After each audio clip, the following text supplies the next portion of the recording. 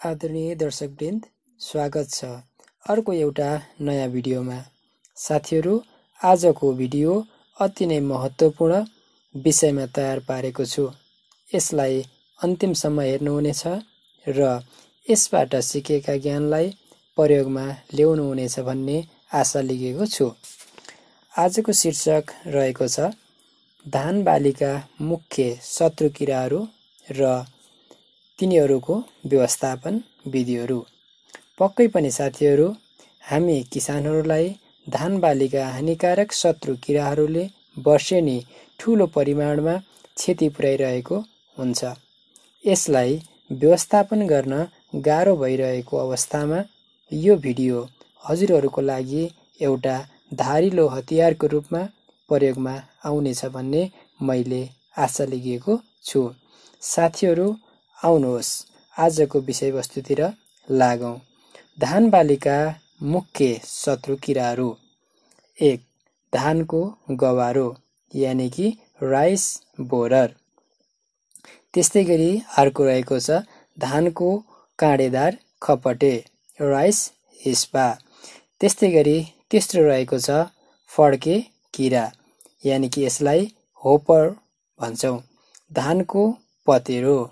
Rice bug धानको पातबेरुवा rice leaf roller किर्थो किरा फिल्ड क्रिकेट। आउनुहोस् यी किराहरूको क्षतिको लक्षण कस्तो हुन्छ र यिनीहरूलाई कसरी व्यवस्थापन गर्ने? यिनीहरूको एक एक गर्दै अगाडि बढौँ है त। सबैभन्दा पहिले धानको गवारोको बारेमा छलफल गरौँ। धानको गवारो वयस्क अवस्थामा विभिन्न आकार प्रकारका पुतली हुन्छन्।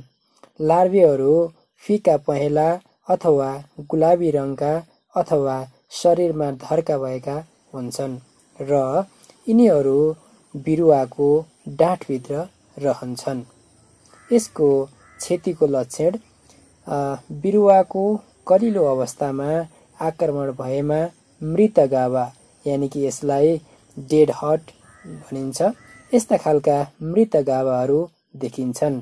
यदि बिरुवाको फुल फुल्ने अवस्थामा आक्रमण भएमा भुस मात्र भएको सेतो बाला यसलाई हामीले व्हाइट हेड भन्छौँ। यस्ता खालका सेता बालाहरू देखिन्छन्। साथीहरू यसको व्यवस्थापन निम्न अनुसार गर्न सकिन्छ। गवारको क्षति कम गर्न हरेक वर्ष धान काटिसके पछाडि रहेको सम्पूर्ण ठुटाहरू निकाली जलाएर नष्ट गर्ने अथवा ठुटाहरू डुब्ने गरी पानी पटाइदिने अथवा हामीले धान काटिसके पछाडि खेतलाई जोतिदिने गर्नुपर्छ। त्यस्तै गरी अर्को विधि रहेको छ प्रकाशको पासोको माध्यमबाट बक्स पुतलीलाई आकर्षण गरी मार्ने। त्यस्तै गरी अर्को विधि रहेको छ धान खेतीको आलीमा भटमास लगाउने। त्यस्तै गरी हामीले अर्को जैविक विधि अन्तर्गत बेसिलस थ्रुन्जेनेसिस यानि कि बिटी तिन ग्राम प्रति लिटर पानीका दरले छर्कने। त्यस्तै गरी धानको काँडादार खपटे राइस हिस्पा। यस हिस्पा बैक्स खपटे किरा निलो कालो रङको काँडादार पखेटा भएको हुन्छ। यसको क्षतिको लक्षण यसले नोक्सान पुर्याएको पातमा सेता धर्साहरू र सेता धब्बाहरू देखिन्छन्। यसलाई व्यवस्थापन गर्न निम्न विधिहरू अप्नाउन सकिन्छ। बेर्नाको पातको टुप्पोमा देखिएका फुलहरूलाई पातको टुप्पो चुडेर नष्ट गर्ने। त्यस्तै गरी ब्याडमा टम्म पानी जमाएर पानीमा उत्रेका खपटेलाई जम्मा गरी नष्ट गर्ने। त्यस्तै गरी अर्को रहेको छ बिटी वा एनपिभी नामक जैविक विषादी एक पोइन्ट पाँच मिली प्रति लिटर पानीमा मिसाई खेतमा छर्कने। यसरी जैविक विषादी प्रयोग गर्दा प्रति हेक्टर जमिनमा पाँच सयदेखि छ सय लिटर जैविक विषादी र पानीको झोल प्रयोग गर्ने। यस्तै गरी अर्को रहेको छ यदि प्रकोप बढी भएमा अन्तिम विकल्पको रूपमा बजारमा सजिलैसँग उपलब्ध हुने सम्पर्क विषादी जस्तै इन्डोसेल थायोडान साइपरमेथिन आदि वान पोइन्ट फाइभ मिली प्रति लिटर पानीमा मिसाई छर्कन सकिन्छ। त्यस्तै गरी अर्को किरा रहेको छ फड्के किरा यानि कि होपर्स। यसको पहिचान कुनै हरियो कुनै सेता र कुनै खैरा किसिमका फुत्त फुत्त उफ्रिने किसिमका मसिना किराहरू हुन्छन्। यसको क्षतिको लक्षण धानका बिरुवाहरू सुकेर मर्दछन्। बिरुवाहरू गाजिन र बढ्न सक्दैनन्। धानको बोटमा बाला नलागी पराल भई पराल जस्तो भई बोट सुकेर जान्छ। यसको व्यवस्थापनको विधिहरू निम्न अनुसार रहेका छन्। उपयुक्त जातको छनौट गरी ढिलो लगाइएको भन्दा छिटो लगाइएको र ढिलो पाक्ने भन्दा छिटो पाक्ने धान बालीमा फड्के किराहरूको प्रकोप कम भएको पाइएको छ। गाँसको घनत्व कम गर्ने। धान रोप्ने समयमा प्रति गाँजमा दुईदेखि तिनवटा भन्दा बढी बेर्नाहरू नरोप्ने। त्यस्तै गरी नाइट्रोजनयुक्त मलखादको उचित प्रयोग गर्ने। त्यस्तै गरी अर्को रहेको छ समय समयमा गोडमेल तथा सरसफाइ गरी किराहरूको वैकल्पिक आश्रयस्थल नष्ट गर्ने। त्यस्तै गरी अर्को विकल्प रहेको छ। तिनदेखि चार दिनको फरकमा खेतमा पानीको सतह बढाउने घटाउने र सुकाउने गर्नुपर्दछ त्यस्तै गरी अर्को किरा रहेको छ धानको पतेरो राइस बग। यसको पहिचान बक्स पतेरो खैरोमा हरियो मिसिएको हुन्छ भने बच्चा पतेरो हरियो हुन्छ। यसलाई समातेर बिस्तारै थिच्दा नराम्रो गन्ध छोड्दछ।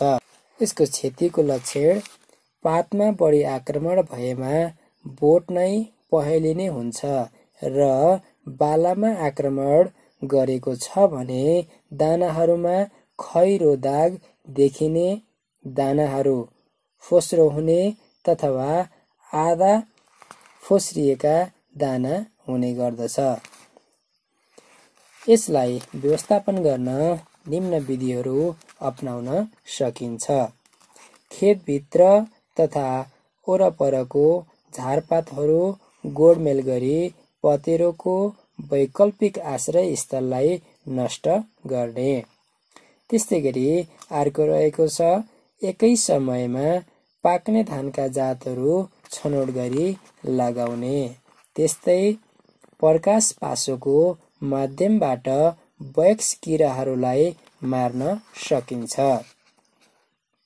त्यस्तै गरी अर्को रहेको छ डटी ट्यापको प्रयोग गर्ने। यसको लागि गाई भैँसीको ताजा पिसाबमा कपडा वा जुटको बोरालाई भिजाएर एउटा घोचोको एक छेउमा बाँध्ने र उक्त घोचोलाई धानबारीको बिचमा लगेर गाड्ने गर्नुपर्दछ। ट्र्यापमा आकर्षित भएका पतेरोहरूलाई बाहिरपट्टिबाट प्लास्टिकको झोलाले छोपी सङ्कलन गरी मार्ने। त्यस्तै गरी अर्को रहेको छ यो किराको प्रकोप ज्यादा भएमा अन्तिम विकल्पको रूपमा कीटनाशक विषादीहरू जस्तै साइपरमेथिन अथवा थायोडान दुई मिली प्रति लिटर पानीका दरले मिसाए बिरुवा राम्रोसँग भिज्ने गरी छर्नु पर्दछ। त्यस्तै गरी अर्को किरा रहेको छ पात बेरुवा यानि कि लिफ रोलर। यसको पहिचान यो पात बेरुवा हल्का खैरो रङका पुतली हुन्छन्। पखेटामा दुईवटा बाङ्गा टिङ्गा धर्साहरू हुन्छन्। लार्वा हल्का हरियो रङका हुन्छन्। यसको क्षतिको लक्षण यसले पातलाई बेरेर भित्रपट्टि बसी पातको हरियो पदार्थ खाइदिन्छन् र पात सुक्दछन्। पात बेरुवा किराको व्यवस्थापन विधिहरू। बेर्नाको पातको टुप्पोमा देखिएका फुलहरूलाई पातको टुप्पो चुडेर नष्ट गर्ने। यस्तै गरी अर्को रहेको छ धान रोप्ने बेलामा स्वस्थ र बलियो बेर्नाहरूको प्रयोग गर्ने। त्यस्तै गरी अर्को रहेको छ। नाइट्रोजनयुक्त मलको उचित प्रयोग गर्ने। त्यस्तै गरी अर्को रहेको छ। धान खेतको राम्ररी गोडमेल गर्ने। यस्तै बिटी वा एनपिबी नामक जैविक विषादी एक पोइन्ट पाँच मिली प्रति लिटरका दरले पानीमा मिसाई खेतमा छर्कने।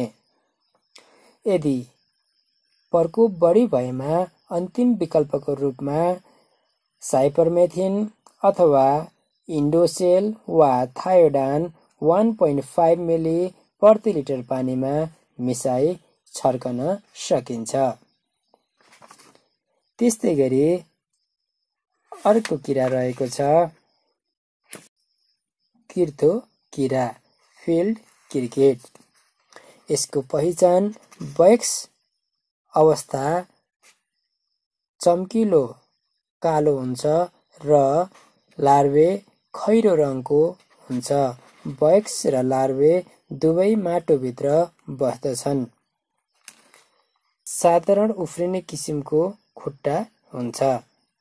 क्षतिको लक्षणहरू बिरुवाको कलिलो अवस्थामा माटोमुनि रहेको जरा र डाँठको भागलाई खाइदिन्छन् र बिरुवाहरू मर्दछन्। व्यवस्थापन विधि। खेतमा पानी पट्याउने। त्यस्तै गरी सालिन्दा यी किराहरूको आक्रमण हुने खेतमा रोपाइँ गर्नु अगा अगावै क्लोरोपाइरिफस ट्वेन्टी इसी नामक कीटनाशक विषादी एक मिली प्रति लिटर पानीका दरले खेतमा पानी सुकाएर छर्ने। हस्त